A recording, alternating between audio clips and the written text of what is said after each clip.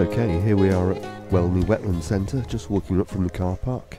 And the Welney star species are already audible and indeed visible from the car park. The Whooper Swan, of course. Right, we're just making our way into the uh, state of the art visitor centre here. There are big panoramic windows overlooking the uh, wetlands there. Just making our way up the uh, steps to uh, pay our entrance fee. The top of the steps is uh, where you pay for the shop. Also on this level is uh, a cafe where you can get everything from sandwiches to hot food. Okay, we've just paid to get in and uh, make our way up yet more steps.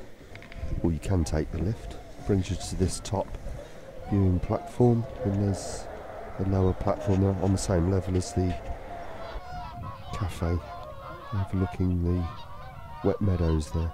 And there's the Whooper Swans. Well, we're just about to uh, cross the bridge to the observatory.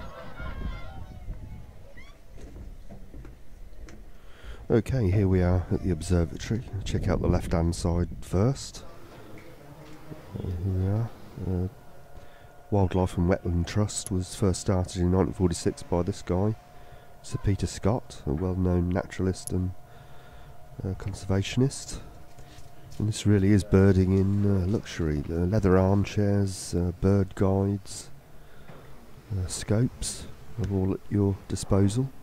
And of course, the uh, wonderful panoramic view of the Ouse washes uh, for you to enjoy. There's also various uh, exhibits and information uh, concerning the three types of swan you get here at Welney.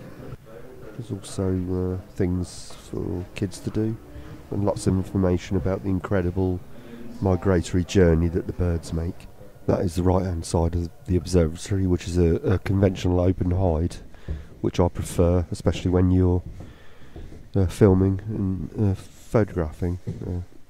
Prefer not to have any glass between the lens and the subject. Let's have a look, see what's out there. We've got coot and uh, four types of duck. We've got tufted duck, lots of pochard, mainly males. One view there with a lovely uh, chestnut head. Mallards, of course.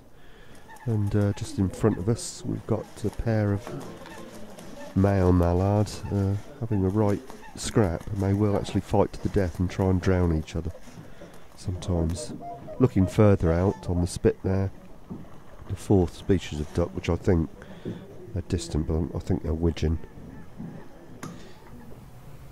Also, uh, lots of uh, lapwing on view, both in the air and then uh, on the spit there. Also, a little bit further out, these are godwit. I wouldn't like to say whether they're uh, black-tailed or bar-tailed at this distance, but the swans here are mute swan and Bewicks. Uh, there's about 1,400 Bewicks here apparently, and uh, smaller than a Whooper swan and much more black on the beak. It travels much further up the beak, but they're a lot rarer and more difficult to see. These are the stars of the reserve, the Whooper swans. Travel here thousands of miles from uh, Iceland and Russia and the Arctic and all over northern Europe. As you can hear, they're quite loud birds, lots of vocalising going on. Can be uh, quite territorial and quite aggressive too. See among them there's quite a few young birds, it's probably their first uh, time in the UK, their first migration.